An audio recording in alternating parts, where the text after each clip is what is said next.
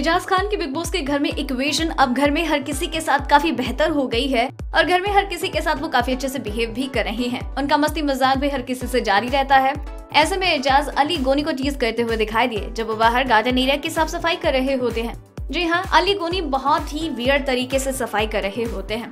कचरा ऐसे ही गिरा होता है, लेकिन झाड़ू से सिर्फ़ ऊपर ऊपर से साफ़ कर देते हैं। एजाज कहते हैं कि यार, ये कौन सा तरीका है साफ़ सफ़ाई का? अगर कर रहे हो तो एटलीस्ट कर तो दो ठीक से, और पोछा भी लगाओ ना। इस पर अली ने कहा कि कैप्टन को बोलो कि मुझे पोछा ला के दे एंड देन मैं पोछा लगा दूँगा।